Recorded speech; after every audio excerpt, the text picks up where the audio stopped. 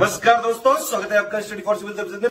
यदि study for civil services के साथ में तो ये वाला टेलीग्राम ज़रूर ज्वाइन करके रखिए। यूट्यूब चैनल में हमारे साथ है तो भी ये वाला टेलीग्राम ज्वाइन करना बहुत ज़्यादा ज़रूरी है। सारे नोटिफिकेशन सारे अपडेट सारे मोस्ट इंपोर्टेंट पिक्स सारा रिवीजन सब कुछ यहाँ पे बताया जाता है। टेस्ट को ध्यान से अटेम्प्ट करिए और बताइए कितना स्कोर आपने किया है, कितने सही किए हैं टोटल क्वेश्चन में से। सभी लोग अपना अपना स्कोर ज़रूर कमेंट करिए। तेरह जून दो को यूपीएससी का पीसीएस एग्ज़ाम है और यारो का जो यूपीएससी वाला है, एक अगस्त दो हज़ार इक्कीस एग्ज़ाम है, दोनों के paid book full paid book भी चालू हो चुके हैं टेस्ट सीरीज़ वाला पेड बुक भी चालू हो चुका है। इन नंबर पर आप कॉल कर सकते हैं या फिर व्हाट्सएप कर सकते हैं या फिर मुझे डायरेक्ट व्हाट्सएप कर सकते हैं नमस्कार विद्वान साथियों यूपीसीएस के जीएस सीरीज़ को आगे बढ़ाते हुए देखते हैं आज का पहला प्रश्न लोग। हाल ही में किस देश ने अपने नए समुद्री निगरानी ड्रोन सी गार्जियन का परीक्षण किया है? वो आपको बताना है, जापान, भारत, रूस या फ्रांस? तो इसका जो सही आंसर है वह ऑप्शन ए, जापान ने जो है अपने नए समुद्री निगरानी ड्रोन सी गार्जियन का परीक्षण किया है। और यह जो है, जापानी तटरक्षक बल ने किया है। और यह जो परीक्षण हुआ है वह सी ऑफ़ जापान के तटीय क्षेत्र में किया गया है। और इस ड्रोन की जो कुल लंबाई जो है, वह 12 मीटर है। और यह जो है, इसके जो पंखों की जो विस्तार है, वह 24 मीटर है। 24 मीटर है। आए हैं अगला प्रश्न लोग। सूची एक को सूची दो से मिलान कीजिए। यहाँ पे बहुउद्देशीय परियोजनाएँ हैं और नदियाँ दी गई हैं। इसके लिए चार ऑप्शन दिया गया, आप लोग ऑप्शन पढ़ लीजिए। इडुक्की परियोजना जो है, वह पेरियार नदी पर है। माता टीला परियोजना जो है, वह बेतवा नदी पर है। नागार्जुन सागर परियोजना जो है, वह किसरा नदी पर है। और पोचमपात परियोजना जो है, वह आपके गोदावरी नदी पर है। तो इससे जो है ऑप्शन सी जो है, वह सही होता है। आए थे अगला प्रश्न लोग। देश की प्रथम कृषि विश्वविद्यालय की स्थापना किस वर्ष हुई थी? 1950 में 1960 में 1970 में या 1980 में तो इसका जो सही आंसर है, वह ऑप्शन बी 1960 में जो है, प्रथम विश्व, प्रथम कृषि विश्वविद्यालय की जो है, स्थापना हुई थी। और यह जो है, उत्तराखंड के जो है पंत नगर में हुई थी। और इस विश्वविद्यालय का जो नाम है, वह गोविंद बल्लभ पंत कृषि एवं प्रौद्योगिकी विश्वविद्यालय, इसका जो है नाम है। और इसे जो है, भारत में हरित क्रांति का जो है, अग्रदूत भी माना जाता है। आए थे अगला प्रश्न लोग। एक मार्क है अंडा उत्पादन हेतु एक सहकारी समिति, कृषकों की एक सहकारी समिति, अंडों की एक विनियमित मंडी या गुणवत्ता गारंटी की मुहर। तो इसका जो सही आंसर है, वह ऑप्शन डी, गुणवत्ता गारंटी की मुहर जो है, यह एक मार्क है। यह जो है, भारत में कृषि खाद्य उत्पाद पदार्थों पर जो है, इसे लगाया जाता है। एक मार्क को आ जाते हैं। अगला प्रश्न लोग। निम्नलिखित में से कौन सी एक रबी की फ़सल है? कपास, मक्का, अरहर या सरसों?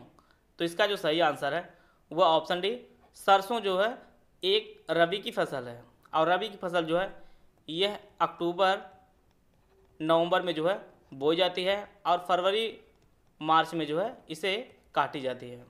और इन फ़सलों के लिए जो है, तापमान की कमी होनी ज़रूरी होती है। इसलिए जो है यह शीतकाल में बोई जाती है।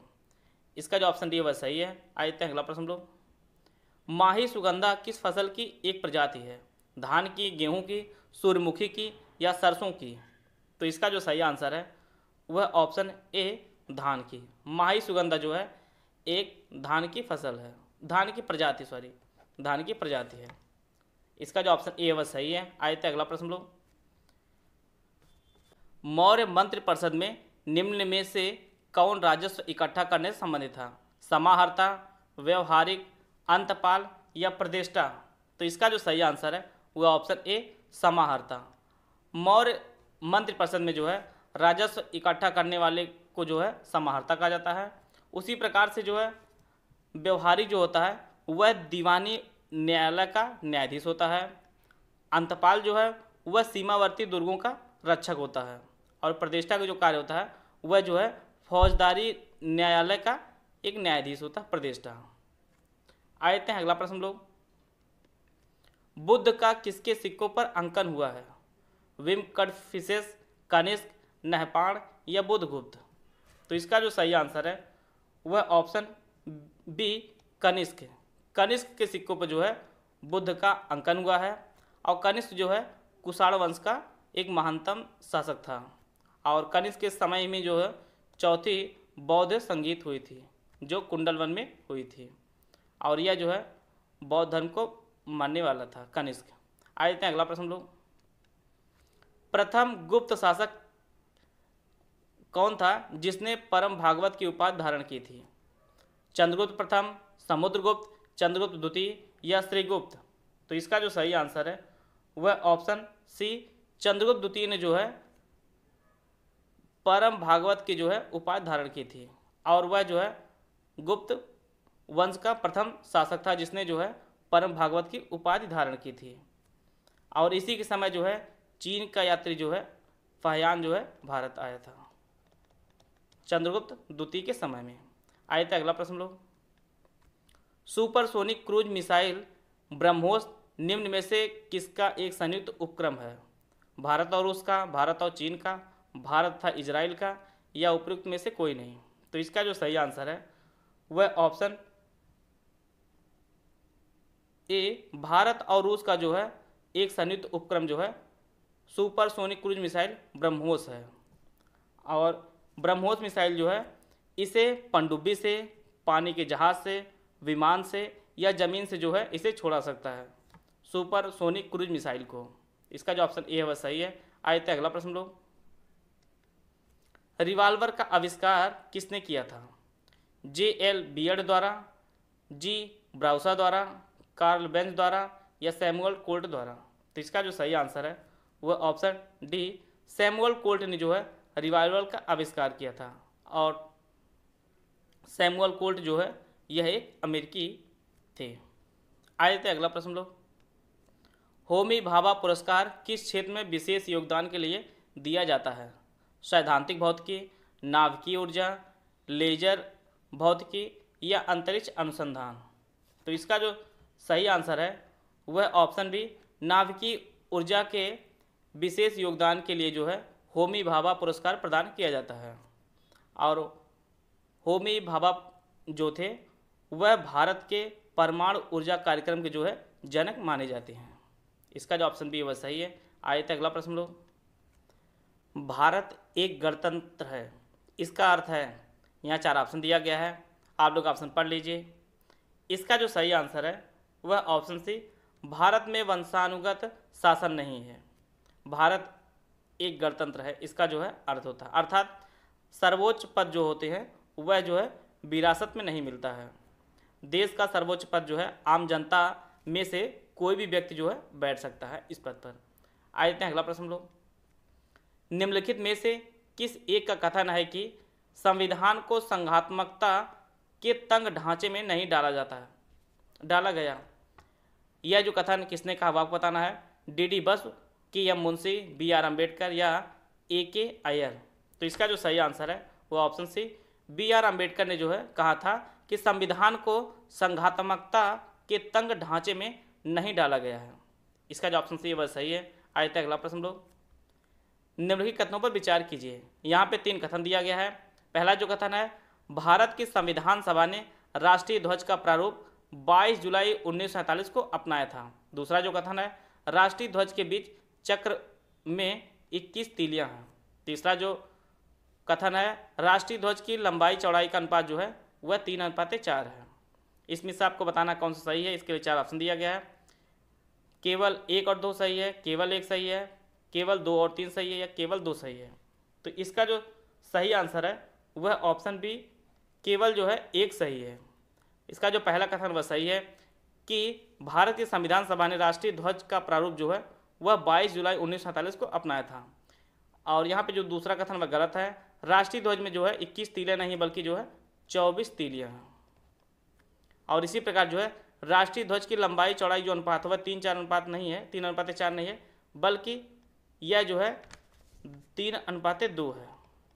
इसका जो अनुपात है।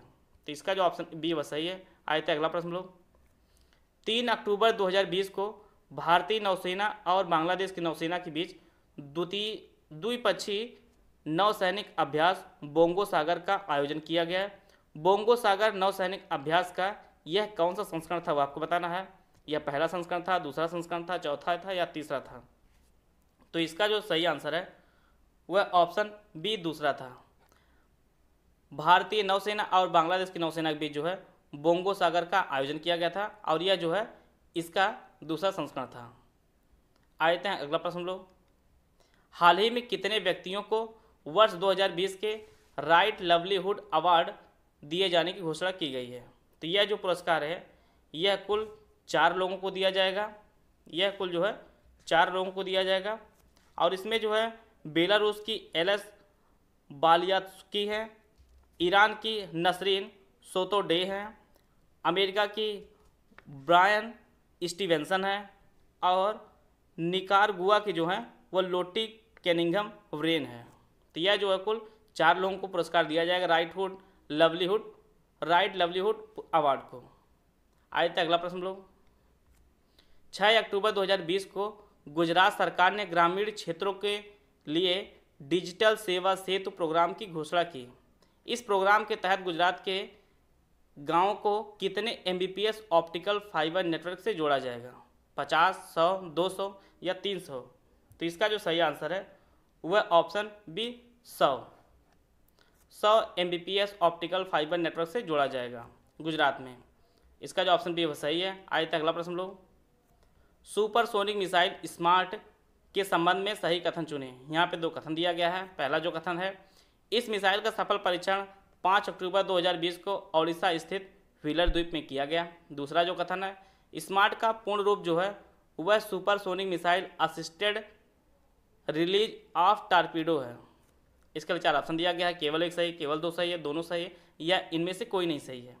तो इसका जो सही आंसर है, वह ऑप्शन सी इसके जो दोनों कथन है वह दोनों सही है कि सुपरसोनिक सुपरसोनिक मिसाइल स्मार्ट का जो परीक्षण है, वह पाँच अक्टूबर 2020 को ओडिशा में जो है व्हीलर द्वीप में किया गया है। और इसका जो फुल फॉर्म है, वह supersonic missile assisted release of torpedo है। तो यह दोनों कथन जो है, सही है। आए थे अगला प्रश्न लोग एक घास स्थलीय पारिस्थितिकी तंत्र के खाद्य श्रृंखला में विभिन्न घटकों का सही क्रम है। यहाँ पे ऑप्शन दिया गया, आप लोग ऑप्शन पढ़ लीजिए। इसका जो सही आंसर है वह ऑप्शन ए इसका सही आंसर है। घास टिड्डा मेढक अवसर पर जो है यह खाद्य श्रृंखला का जो है सही अनुक्रम है।